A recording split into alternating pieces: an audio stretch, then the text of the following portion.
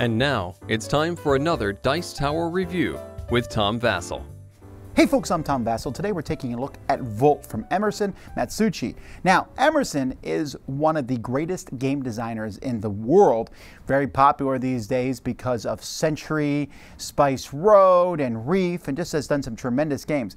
But his second game that he designed was Volt. I reviewed Volt back in the day. I thought it was a really good robot programming game. This is a second version of the game from Heidelberger where they really upped the ante on the components for the game and changed a few rules, I guess. But it's, I mean, I still like the game, so I'm kind of spoiling that part right out here. But it's still a really great game. If you've never heard of it, it's definitely one you want to check out. Here's why.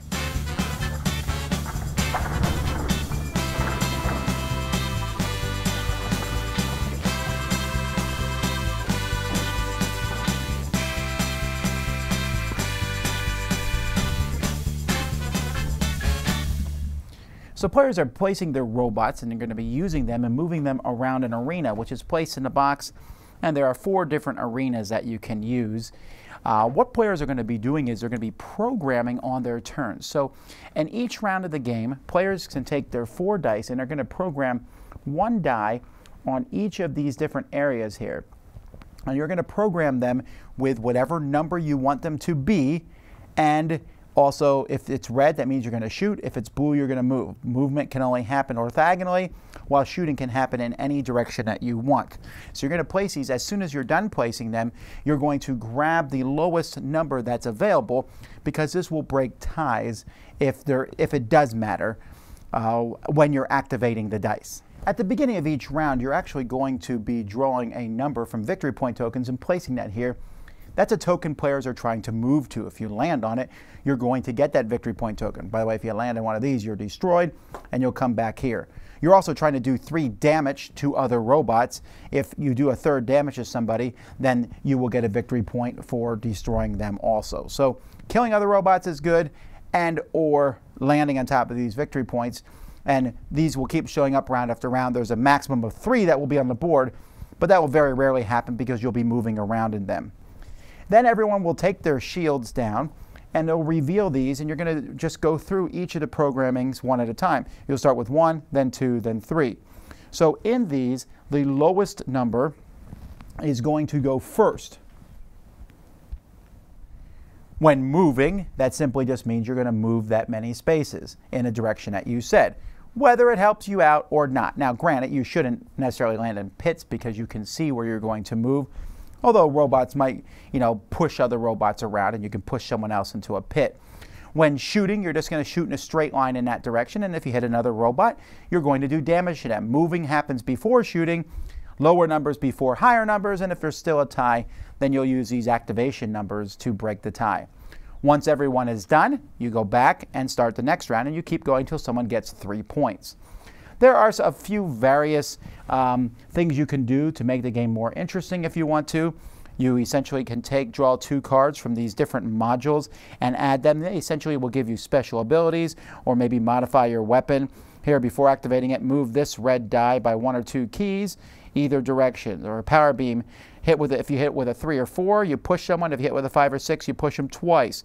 Or fire in four directions, either orthogonal or diagonal. Each hit does one damage. So there's various things that you can get. This kind of customizes your robot, and honestly, I would never play without these, frankly.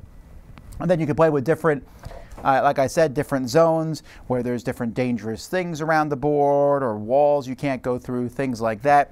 Even the main board here, there's another side to it also. It's, these towers here are not really that big of a deal, but they, they do look neat on the outside of the board, and they give you a spot to put things. Everything fits nicely into a plastic insert. Here's the other side of the board, by the way, if you want to see it. I like the boards. I like the look of everything. Everything is very good quality.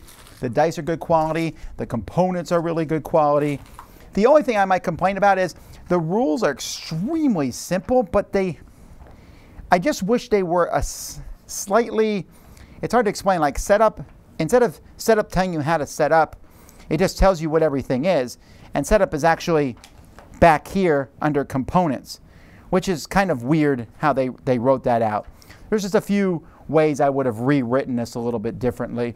And then the RFL manual has setup changes and stuff, and I would have just made this the full rules instead of. I, I like that they explain everything in here, and they even have Killbots, another game you can play for two to three people. Um, and then, you know, it, it, does show you everything, and it's very nice and colorful. I just didn't think they were the clearest rules considering how simple they were. Other than that, absolutely fantastic components.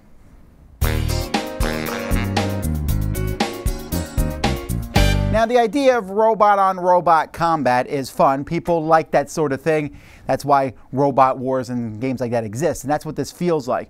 This is a cool programming game because there's really no luck to a lot of it. You're basically just trying to outguess your opponents, and you have these dice. You pick how far you want to move or how fast you want to move slash shoot. Sometimes you want to shoot after somebody else, right? So I am going to shoot this direction, but you might be moving in that direction. So I say, okay, if you're going to move a three and you're going to be right in that spot, I'm thinking you're going to move three spaces to go to that spot, then I'm going to shoot at a four. So I'm shooting after you move, but oh, I want to shoot before you move, so I'm going to shoot at a one, so it's a faster speed. It's just, it's a really interesting thing, and you have, it's not a ton of choices. You're just putting three dice on three spots, picking the different spots, programming your robot. It's way more fun when you play with the modified stuff just because you feel like you have asymmetrical robots.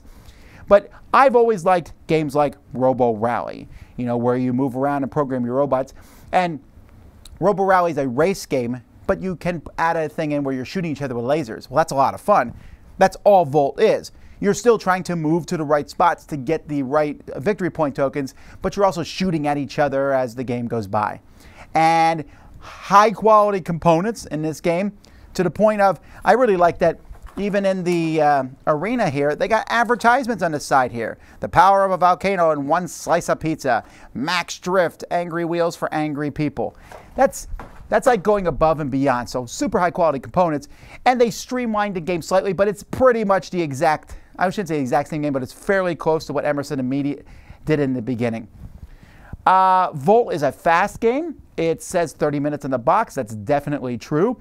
It's a game that if you get messed up and pushed to the pit, you just come back, not a big deal, and you keep fighting, and games can end really quickly or quickly. There's really not much other than that. And it's going to be this constant fast flowing, go, go, go, move, move, move, program, program, go, go, go. And I like that. I like the, the quickness, the speed of it. It feels like a robot arena style game. It's a, it's a lot of fun. Definitely check out Volt, the new edition. Dice Tower Judgment, approved!